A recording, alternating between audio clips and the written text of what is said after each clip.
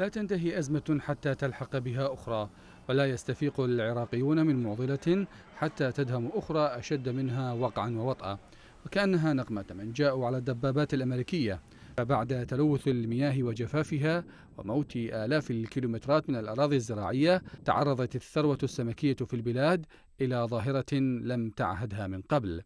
آلاف الأطنان من السمك النافق إحدى أعمدة الثروة الحيوانية في البلاد تطفو ميتة على جانبي الفرات بفعل مرض قيل عنه إنه مجهول.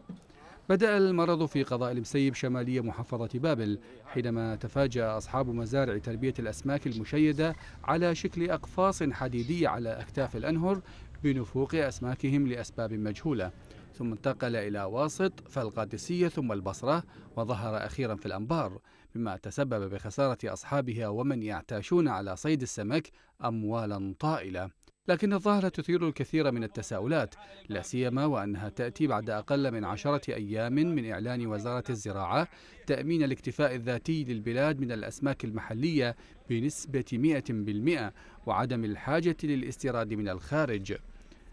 نواب في البرلمان حذروا من خطورة الظاهرة ومن وجود أياد خفية تحاول استهداف الاقتصاد العراقي من دون تحرك جدي وواضح من الحكومة ما يعني أن الأمر لا يمكن بحال من الأحوال أن يكون محض صدفة أو مرض عابر خصوصا وأنه يتسبب بخسارة الاقتصاد بنسبة 80% من ثروته السمكية والعودة للاستيراد من الخارج. من جهة أخرى تعود مشكلة الجفاف إلى الساحة مجددا فقد حذر خبراء وباحثون من هجرة جماعية من محافظات الوسط والجنوب نتيجة للنقص الكبير في المياه الذي انعكس على الزراعة.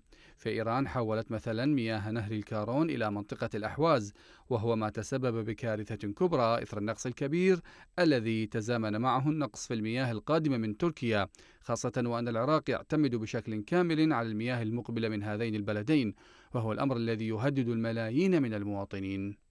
بالإضافة لسوء إدارة ملف المياه وعدم إقامة السدود الحفاظ عليها بدلا من تركها تذهب إلى البحر كما يتطلب الأمر الاستعانة بمياه الأمطار التي تهطل في كردستان العراق والتي يمكنها أن تغني العراق عن مياه تركيا وإيران.